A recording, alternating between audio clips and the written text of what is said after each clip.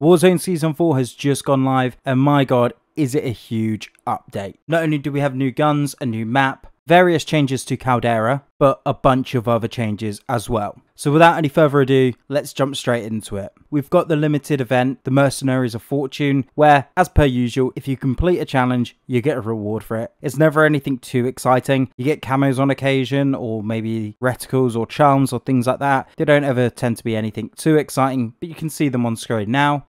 Looking at the new modes that they've introduced, we've got Golden Plunder, which just slightly alters Blood Money, so basically another version of Plunder. The player count has increased up to 120 players. Players drop more cash upon death. The cash required for victory has increased to 5 million, but they've added something very small in the fact that you can visit a malfunctioning ATM to earn additional cash. And on top of that, this is across Caldera in general. You've got various bunkers across the map where you need to get a golden keycard to gain access to them. Now looking looking at Fortune's Keep Resurgence, this is basically just Rebirth Island Resurgence, but for Fortune's Keep, so the new map. And now let's look at the thing that most people are probably really excited for, Fortune's Keep. It's a brand new map to alternate with Rebirth Island, so you've got a bit of variation when playing these two maps. Overall, it looks quite interesting, quite a lot of verticality in the map, but as you can see on screen now, it's really interesting and I can't wait to try it out. There are some brand new features for that map as well. So Mercenary Cash Extraction, so that's a new public event. This is basically AI units will attempt to airlift cash out of the map. So players can just choose to intercept this or just leave them to it. And I guess if you intercept them, you're going to get some cash. And a new contract on Fortune's Keep as well. That's Black Market Supply Run. Very similar to a supply run. The contract will require players to track down the Black Market buy station before a timer expires. The Black Market buy station gives you access to things such as sequencer grenades, Nebula 5 minigun, Foresight, specialist bonus, or one of several classified weapons. And then, just as mentioned within that, there's a new grenade called the Sequencer Grenade. This is only available within Fortune's Keep. This tactical grenade applies a visual distortion effect with floating red numbers on a victim screen, as well as an auditory debuff.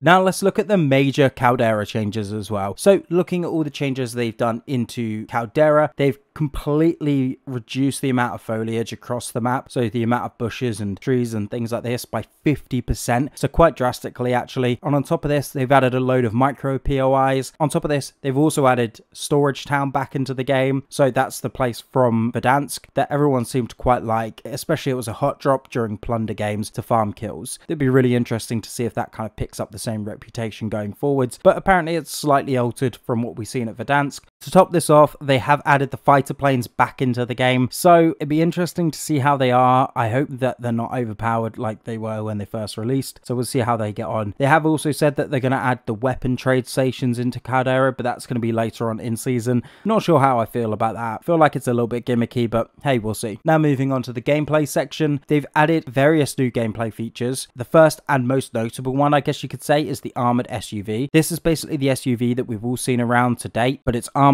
and has a turret on the roof. This can be required as a reward for the sabotage contract, so it's not stating if it's replacing the armored truck, but I would imagine it's you either get one or the other going forwards. And then moving on to the EMP grenade, this is a non-lethal lethal tactical grenade designed primarily to counter vehicle play. It's going to deactivate a vehicle's engine for 10 seconds, and then it also disrupts any enemy electronics and removes the HUD from players for about 6 seconds. And as previously mentioned, they've added the broken ATMs to the game. Now these can be interacted with. These basically just spew out cash over time, so quite interesting. And then one really, really interesting thing I think they've added is a portable redeployed balloon. Now I thought the redeployed balloons gave the game such a breath of fresh air, so it's going to be really interesting to see how much these really impact things going forwards because sometimes you can be caught out in quite difficult situations. So I can only imagine this is going to help the general mobility and it'll make the game less punishing as well when you get caught out in those bad situations so you can just sort of zip line away hopefully. Now moving on to the quality of life changes that they've added into Warzone. So they've updated the loadout crate for PC players. So basically instead of going into the middle of the screen when you open it up with your mouse as in which loadout it's going to select, it's always going to end up at the top top. So this is going to be quite useful going forwards. Hopefully we'll just make grabbing your loadout that much quicker. They've updated the gas mask animation.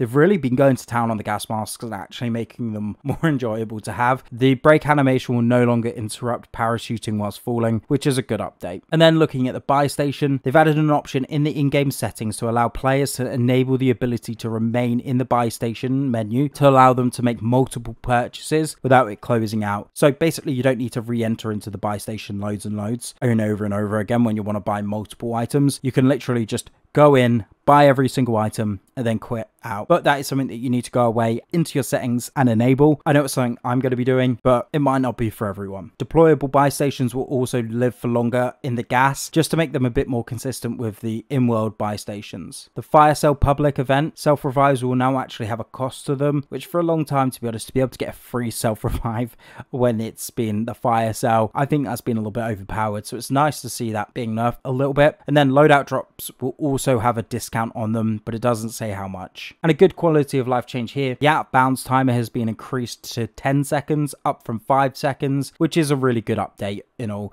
Basically means, especially with the rocks on the outskirts of the map, sometimes you just dip into it by accident and then you feel very rushed with 5 seconds. So 10 seconds is going to come quite welcome, especially for newer players out there. In the Gulag, they've finally done it guys. Why it's taken them, what is it, two and a half years of Warzone being out? Spectators now have muted footsteps for people in the Gulag. Why that's taken two and a half years, I'll never know, but that's what everyone's been screaming out for, so we can actually listen out to our enemies going forwards as opposed to the people running around above us. And they've done a slight update to the redeploy positioning. Uh, so if you've ever noticed sometimes when you've won your Gulag, it spawns you the other side of the map to your loadout or your teammates, that should just happen less or not at all anymore going forwards. They've added to the ground loop perks that you can find. So you can find Ghost, Combat Scout, Double Time, Cold Blooded, and Amped going forwards. So that's going to be really interesting. Not too keen on Ghost being on there because I actually prefer the game now no one's really running it. It just makes the game more fluid and less campers, or at least if there are campers, you know they're there. Whereas,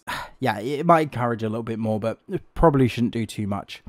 They've also buffed battle hardened, so stun and flash resistance is up to 70% from 40%, so that's pretty huge. But I feel like they should probably do that in the game in general because I think they're ridiculous anyway. And then scavenger, you get an additional $500 with each scavenger pouch upon killing someone. And then on hardline, it provides a 25% discount on all buy station items, including loadout drop markers, which is a good quality of life change going forward. So if you're in a squad of four, maybe get someone to run hardline and then they're just able to buy multiple items for the whole team and then on that second loadout you know they can go to whatever perk they want. So it's a good quality of life change that one and now looking at the tactical equipment, the snapshot grenade radius has been decreased to 22 meters from 27.4, which, yeah, fair enough. It was pretty strong anyway, so I don't think you're going to find too many people moaning about that change going forwards. And now looking at the new weapons, you've got the UGM-8 light machine gun, which is a high fire rate mobile LMG that creates, that excels at creating suppressing fire and pushing enemy positions. So I'd presume that means it's got lots of recoil, which isn't very useful. So we'll see how that one pans out. And now looking at the Marco 5 submachine gun, a high mobility submachine gun, accurate from the hip and excellent at close range stopping power. So basically we've got another hip fire gun, which I quite like because I suck at close range fights. They've also added the new weapon unlock challenges for the ones added last season. And now let's take a look at the nerfs and buffs to all the weapons here. They've buffed the NZ41 for some reason. I mean, it was pretty dominant as it was. But hey, there we go. They've also kind of nerfed and buffed the bar a lot. So it'd be interesting to see how that one goes out. To be honest, I feel like that probably should have been the case on the NZ41 and the bar receiving more buffs than nerfs. But hey, We'll see how that one goes. And the STG-44 has been nerfed overall with its damage being down, bullet velocity down, and various just other changes alongside sort of recoil control and things like that. And now let's move on to the second load of assault rifles that they've buffed and or nerfed. The KGM-40 has been buffed overall with its bullet velocity, damage range, and damage in general has been increased. So that's going to be quite interesting because that was a solid gun anyway. Its damage was just a little bit shy. So let's hopefully see that brings it a little bit more into the meta. And then the ITRA Burst has been buffed as well, with the bullet velocity being buffed, and then the upper torso damage multiplier being increased as well. But ultimately, that gun still isn't great because if you miss one shot, I think it is in that burst, it ridiculously increases the time to kill to the point where it's totally unusable. The FFAR, they've buffed it as well, so max damage range has been increased. And then the Nikita AVT has been buffed overall as well, bar some reload quickness penalty being changed. And then the AK-47 has been slightly nerfed. It's in the wrong color here. Yes, I do agree. Basically, its recoil control has been nerfed a little bit. So it's a little bit harder to control the gun because I still feel it's a little bit overpowered, which I agree with. And the Vargo 52, not sure where they've done this. Maybe because it's fallen off a little bit. Is they've kind of reversed a couple of the changes they've made previously. So it's got less recoil to make it easier to control. And now looking at the AS44, they've overall changed a lot of the recoil. Yeah, I think that could be really interesting going forwards. Its recoil control is a lot better now by the looks of it, around 25 to 30% in a lot of cases, some less in some other. So that's going to be really interesting. And then bullet velocity and damage range as well. It's been increased on various attachments. Now looking at the Cooper Carbine, its damage has been increased ever so slightly. But to be honest, I feel like the Cooper was in a really good place, even though no one was using it. um, but it was just that zero recoil weapon of choice that for new players was a great option. So maybe they just needed to change the unlock challenge for it because that's probably the reason why no one was using it. And now moving on to the nerfs and buffs for the LMG and marksman guns. For the Whitley, it has been buffed with its max damage being increased, but the recoil was the issue on that gun, so it's not going to overly change anything too much here. The DP27, now this is actually a huge change. Its bullet velocity has been buffed. This gun was actually really, really viable. It was very similar to the NZ41. Just struggled at range and you often had to aim ahead of your opponents. So having an almost 10% bullet velocity increase here, I can imagine it's going to make it quite popular going forward. So be prepared to start seeing the DP27 start floating around the map a lot more. The Bren's also been buffed ever so slightly with bullet velocity, same with the Type 11, and the AMP63 has been nerfed, bar some slight max damage change, increased up to 32 up from 31, but the rest of it, the min and mid damages have all been nerfed. And now looking at the MG42, that's been buffed and nerfed ever so slightly. The ADS time has been nerfed ever so slightly, which is fine. It's an LMG, it shouldn't be overly snappy, but its damage range, min and max damage has been slightly buffed, making times to kill a little bit more consistent. But overall, it needs a damage buff more so than anything like that. So don't expect to see it much out there. And then the RATT pistol, the a certain barrel on it has been buffed. To be honest, I think the RATT's quite a decent pistol, but its time to kill is just so much slower than your standard starting pistol that no one's going to use it still going forwards. And then the M1 Garand has been buffed ever so slightly. Upper torso damage and neck damage multipliers have been increased.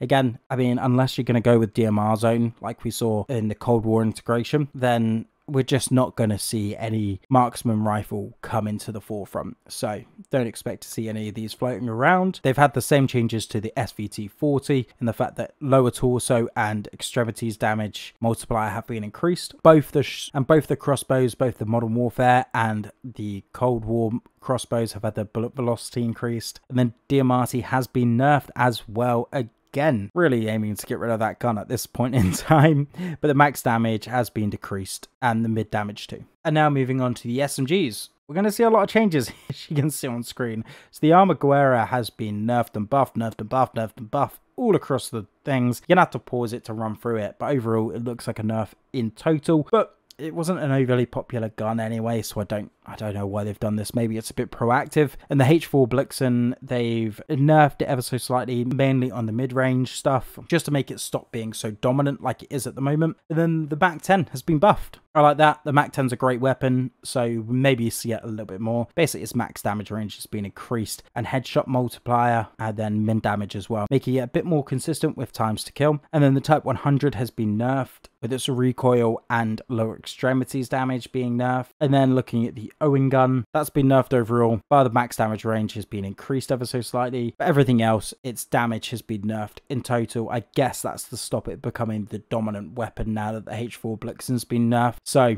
it'll be interesting. And now moving on to the PPSH 41, the Vanguard version. The recoil intensity has been slightly decreased. Bullet velocity has been increased as well on that gun. And then the Sten has been buffed and slightly nerfed with its max damage range, or sorry, mid damage range. So that's interesting. And then the Welgun has been nerfed ever so slightly. Its lower extremities damage multiplier being nerfed, making it a little bit less consistent with times to kill. And now moving on to the snipers, all the ones on the left you can see here have had their flinch reduced, which is about time considering they are useless. So, I mean, that's not going to do a lot anyway, but the flinch reduction is a good thing. They should probably do that across all the snipers, to be fair, because now they have been pigeonholed into very specific situations. They shouldn't be targeted as hard, I guess you could say. And then the Gorenko anti-tank rifle has been buffed ever so slightly. Overall, I don't think this is going to make much of a change if I'm honest with you. So yeah, there you go.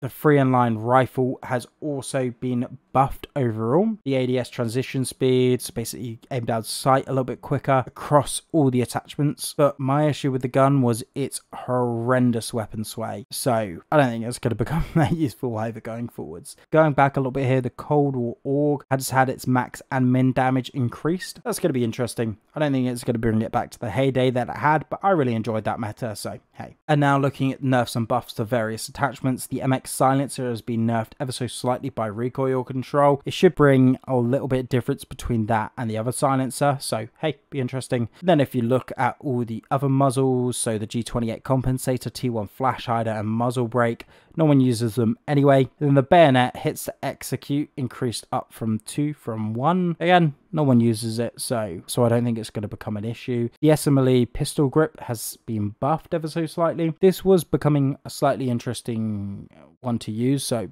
hey, we might see a bit more of it. And then the M1915 steady has been buffed as well, but again, I don't think this is become going to become meta anytime soon. The Mark 6 skeletal has had its movement speed increased and hipfire accuracy decreased. To be honest, that's probably a positive change overall because you don't tend to hipfire too much with that on. It's more for aiming down sight. And then the M3 ready grip has had vertical recoil decreased from 2.5% down from 5%. And then the bipod, that's been nerfed, but no one uses it. Polymer grip flinch resistance decreased to 50% from 95%. That's pretty huge, but I still think it's going to be the go-to attachment because that's not the reason people are using it. They're using it for the sustained fire. And then the hatched grip, rubber grip, leather grip, granular grip, and taped grip have all been buffed. But again, it's not something that we're going to see overly too much. Maybe bar the hatch grip, which has recoil increase now. So maybe we'll start seeing that on the high recoil weapons. Well guys, thanks for watching the video. Hopefully that's given you a pretty comprehensive cover to the new Warzone Season 4 update. And I'm going to be exploring all the new weapons in the coming updates. So make sure you stick around for that. Thanks for watching guys. Cheers. Bye.